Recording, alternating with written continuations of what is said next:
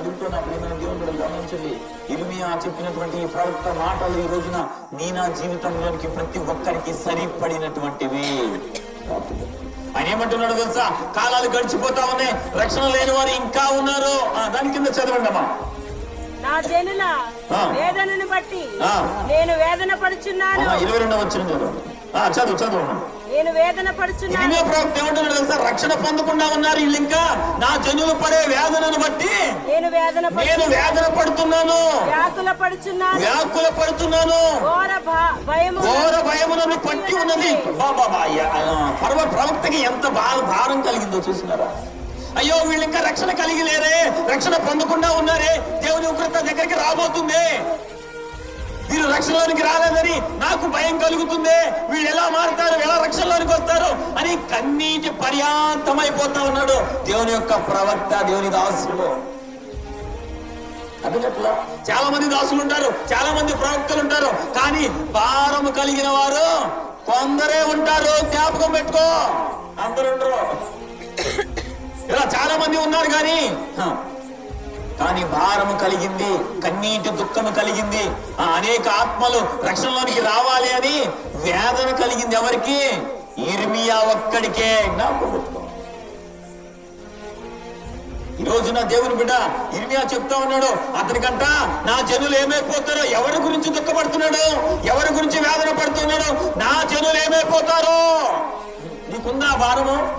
నీ కుటుంబంలో నీ సభ్యులు ఏమైపోతారో నీ కుటుంబంలో నీ బిడ్డలు ఏమైపోతారో నీ భర్త ఏమైపోతాడో నీ భార్య ఏమైపోతుందో అయ్యో సంవత్సరాలు గడిచిపోయినాయి రక్షణలోనికి ఇంకా రాలేదే అనేటువంటి ఆలోచన నీకున్నదా? లేదే. నీ కుటుంబంలో రక్షణ అనే అనుభవం లేకుండా నీ ఆత్మీయ జీవితాన్ని ఎలా ముందుకు సాగదీస్తావు? ఆత్మీయ జీవితంలో ఎదుగుతున్న ప్రియమైన దేవుని బిడ్డ ఇర్మియాకి భారము కలిగినది. నా జనులు ఇంకా రక్షణలోనికి రాలేదు. ఎలాగా వీరిని రక్షణలోనికి తీసుకుని రావాలి? ఎలాగా వీరి జీవితాలను కట్టాలి? ఎలాగా ఈ ఆత్మలను దేవుని సన్నిధికి నడిపించాలి అని భారాన్ని కలిగి ఉన్నాడు. భారాన్ని కలిగి ఉండి ఏమంటున్నాడు తెలుసా. ఇలాగలో గుగ్గిలము ఏమీ లేదా? గిలాదులో గుగ్గిలము ఏమా? ఏమీను లేదా? అక్కడ ఏ వైద్యుడు లేడా అక్కడ ఏ వైద్యుడు లేడా? నా జనులకు స్వస్థత ఎందుకు కలగ నా జనులకు స్వస్థత ఎందుకు కలగటం లేదు? హల్లెలూయా. జ్ఞాపకం పెట్టుకోవాలా? ఇక్కడ గిలాదు అని రాయబడి ఉంది. ఇర్మియా ప్రవక్త గిలాదు అనేటువంటి ఒక ప్రాంతంలో ఆ ప్రాంతంలో ఉన్నటువంటి జనులను గురించి మాట్లాడుతున్నటువంటి మాటలు ఇవి. జ్ఞాపకం పెట్టుకోవాలా? జనులంట రక్షణ పొందుకున్నా ఉన్నారట నశించిపోతా ఉన్నారట. రక్షణలోనికి ఇంకా రావడానికి అవకాశం లేకుండా లోకంలోనే తిరుగుతా ఉన్నారట. వారిని చూసి ఇతనికి వేదన కలిగిందంట. అందుకని అంటా ఉన్నాడు ఏమంటున్నాడు తెలుసా? ఈ గిలాదులో గిలము లేదా? వైద్యుడు లేడా? ఎందుకని వీళ్ళందరూ ఆశ్రయం అయిపోతా ఉన్నారు? ఎందుకని వీళ్ళ ఆత్మ జీవితాన్ని కట్టుకోలేకపోతున్నారు? అంటే పచ్చిగా చెప్పాలంటే ఆయన ఏమంటాడు తెలుసా? ఈ ప్రాంతంలో జనులు నశించిపోతా ఉన్నారే.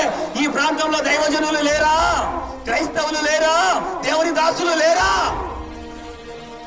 ఉంటే ఎందుకయ్యా వీళ్ళతో నాశనం అయిపోతున్నారు స్వస్థపరిచేవాడు లేడా? జనుల కొరకు కన్నీరు కార్చేవాడు లేడా? గ్రహించాలా? గిలాదు అనేటువంటి ఈ ప్రాంతంలో ఇరిమియా ప్రవక్త అంటా ఉన్నాడు. ఎందుకని ఈ ప్రాంతం ఎలాగా నాశనం అయిపోతుంది? ఎందుకని ఈ ప్రాంతము పాపములు కొట్టుకొని పోతుంది? ఈ ప్రాంతంలో క్రైస్తవులు అనే వాళ్ళు లేరా అంటే ఉన్నారు. దైవజనులు లేరా అంటే ఉన్నారు. వైద్యుడు లేడా అంటే ఉన్నాడు. అయినా అయినా వీళ్ళు ఎందుకయ్యా ఎలా నాశనం అయిపోతున్నారు? గ్రహించాలా? గిలాదు అనేటువంటి ప్రాంతంలో ఇటువంటి పాపము పెట్టరగిపోతుందని ఒక ఇర్మియా ప్రవక్త భారాన్ని కలిగి ఉన్నాడు.